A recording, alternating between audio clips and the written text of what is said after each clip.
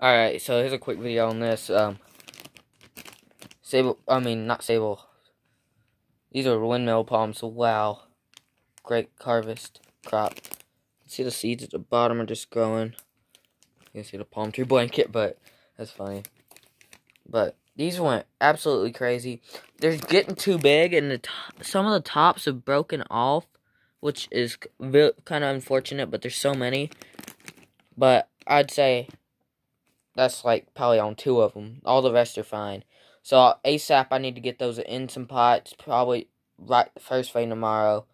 Um, but wow, I have an old country store local, so I can give those to them. But wow, that's not even. That's just the best bag. But I still got some other ones to have to get potted up.